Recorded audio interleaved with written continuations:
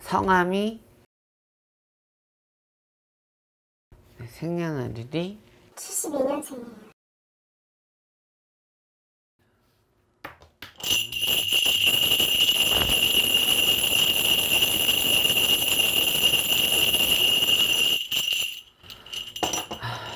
우선 어머니는 이렇게 보면은 올해 삼재세요. 남편 복 아들 복이 없대. 그 남자들 때문에 속 썩는 게 너무너무 많아. 뭐 아들 있으세요? 아들이 사실은 작년에 집을 나가가지고 지금 소식이 어- 안 되고 있어요. 작년에 네. 몇 살인데요 올해? 작년에 17이니까 지금 18인데 아직도 미성년자예요. 아니 지가 나갈 때가 어디 생년월일 한번 말해 주시겠어요?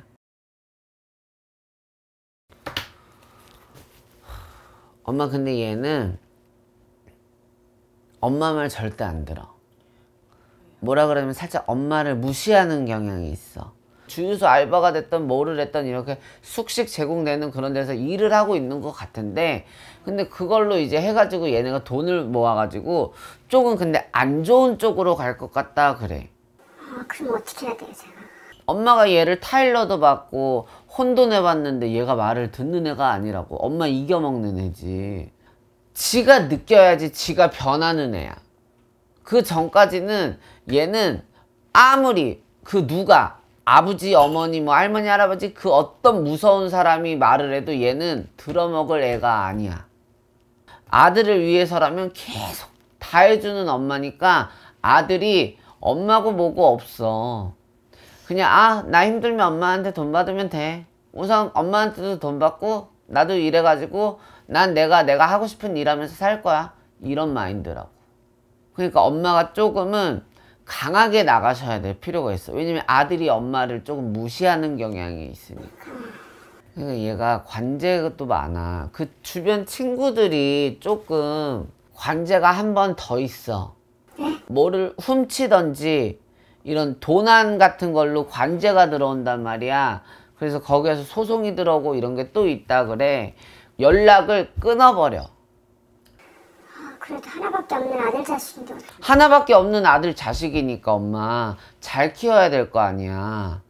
너무 이렇게 하나밖에 없고 애지중지한 아들이라고 금이야 오기야 키우면 밖에 나가서는 지들이 왕자고 왕인 줄 알아. 엄마가 이제까지 아들을 그렇게 만들어서 왕자님으로. 엄마가 그러니까 아들이 엄마를 무시하고 엄마는 내 말이면 다 들어준다 이렇게 생각하니까 아들이 집 나가고 뭐하고 돈 필요하면 연락하는 거 아니야. 그리고 아들이 뭔가 이렇게 지 친구들이랑 그런 숙소 같은 데서 있는 거 있는데 얘가 몰라 할머니가 말해주시는 거는 엄마 나 자취하고 싶어 이런 말을 해. 그 자취집 해주는 순간부터 또 악의 고리의 연결이야. 그래서 얘는 10대는 어쩔 수 없어. 누가 뜯어말려도 안 돼.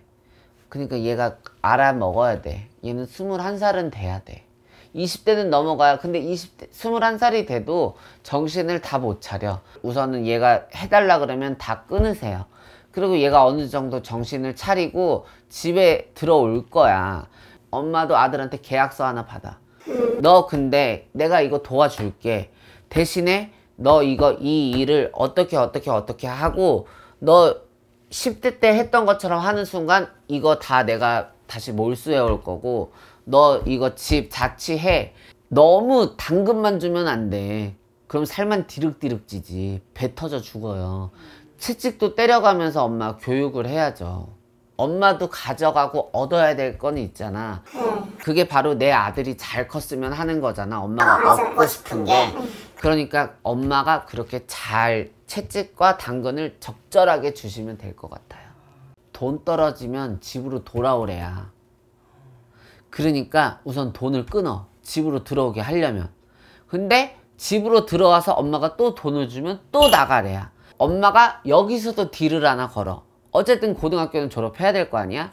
그래, 내가 너 용돈 어느 정도 줄게. 대신 검정고시 너 이거 합격 몇 점 맞으면 내가 그때 너 이렇게 돈 줄게.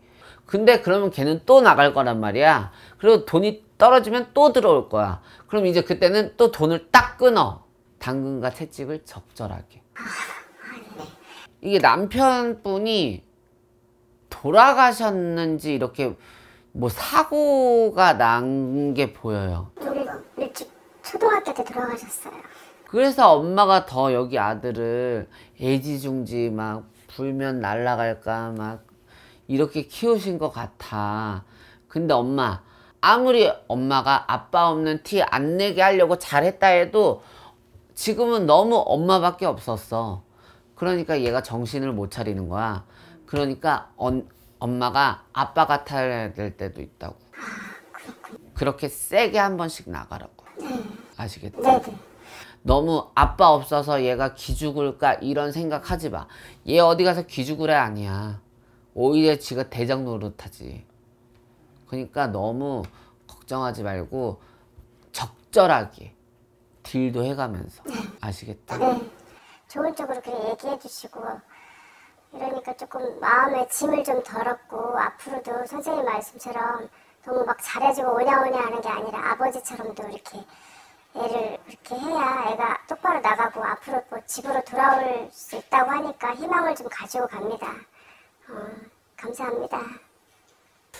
너무 이렇게 뭐 자식은 다 귀하긴 하지만 그렇다고 너무 금이야 오기야 이렇게 너무 애지중지 키우면 아이들이 잘못된 길을 갈 수도 있어요.